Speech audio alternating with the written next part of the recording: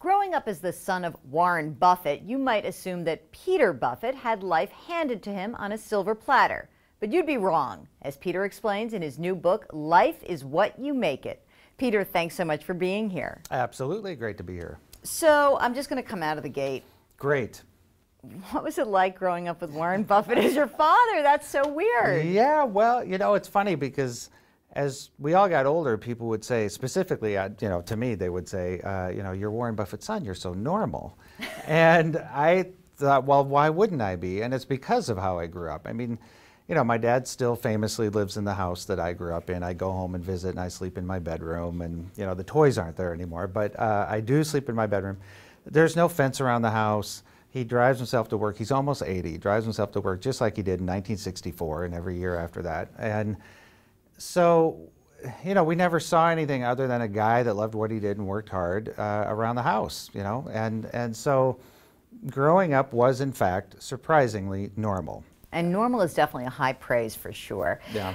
You're an award winning composer and a musician. Did you ever feel the pressure to follow in dad's footsteps? Well, I will say yes and no. Uh, no, in the sense that specifically no. But he always, as well as my mom, they always said, do what you love. Uh, that was critical. And so really, my dad and I do the same thing. We do what we love. And that was where the pressure came in. It's like, don't settle for anything other than your passion if you're lucky enough to find it. I mean, that, that's part of the hard part, you know. Well, and so you have this passion, and typically the life of a musician is not often lucrative. Right. Um, and so you write that I've never known anyone to have been hurt by living for a while on cottage cheese and apples. Right. Are you telling me that you, Mr. Buffett, right. did that? Well, I will tell you that again, I had the uh, pleasure of, of seeing my dad to this day live on not much more than that in terms of ham sandwiches and ice cream for breakfast and things like that. And that helped me a lot because I didn't feel like, you know, I should be special, I should be entitled or anything else. It was about how do I make a living making music? And if, if part of getting there means uh, you know, driving a Volkswagen Rabbit and eating ramen and all that kind of stuff, that's fine with me because I didn't care about that stuff. I just needed fuel to do the work I wanted to do. Your folks did help you out. It wasn't as if they said, go out there, you're on your own. So talk about that a little bit, that the, the idea of giving you some money, but not the big money. Right. My dad famously says enough to do anything, but not enough to do nothing, which is kind of this Yoda-like thing. I, like I kind of like that. Uh, and it actually wasn't them. Uh, my grandfather left all the grandchildren a farm. And my dad didn't believe in two things. One, inherited wealth, but the other was the misallocation of capital. So here he had this conundrum because the farm was a misallocation of capital, but if he changed where that money was, it would be more inherited wealth. Luckily, misallocation won out. He sold the farm, got Berkshire stock, and so when I was 19, I got $90,000 of Berkshire stock. And that's through my grandfather, really. And um, so that's what I had to work with. And of course, that's a lot of money in today's dollars. It could be $250,000 or something. So that's a lot of money. But you could go out and buy a house and buy a car and do a couple of, you know, pragmatic things with it, and it would be gone. And so my choice was, uh, with my dad's suggestion, really, is to buy time. You know, basically that's more valuable. It certainly was to me.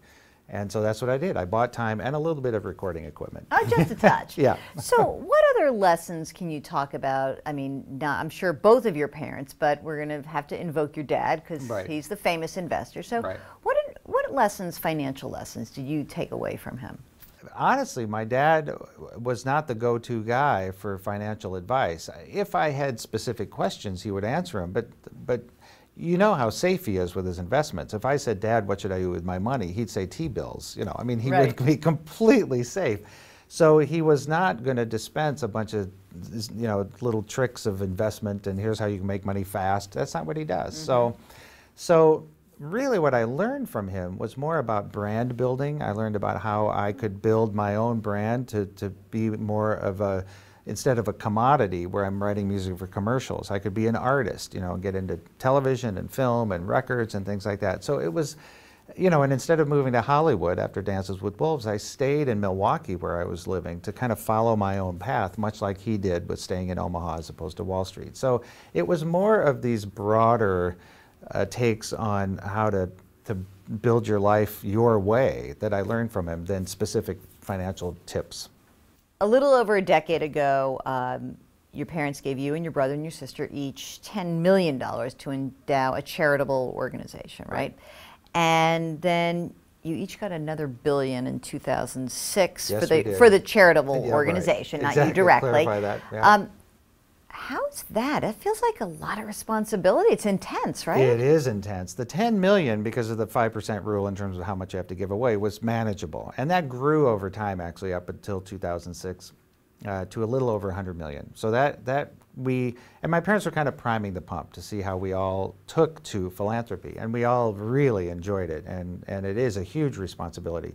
But in 2006, everything changed for sure. I call it the Big Bang. And uh, my wife and I really had to rethink what we were doing, how we were doing it, and uh, it became a full-time job for sure. In fact, my dad said on the way to the announcement at the New York Public Library, uh, you know, you think this will affect your music?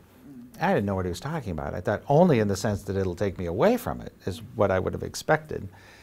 But in fact, through working through the foundation and going on these trips to Sierra Leone and Bangladesh and learning about these issues, you know, the things we're involved in, I realized that it was affecting me personally, of course, and then that came out in my music. And so my music has taken all these interesting turns because of the foundation work, Wow. which I never would have expected. What are the um, main What are the main goals of your foundation and your siblings? Was they each do something different, Yeah, right? they're all different, and I think that was very smart on my parents' behalf to give us each a, a foundation because that allowed us uh, to pursue our own interests instead of potentially fighting over who's most important and all that kind of stuff.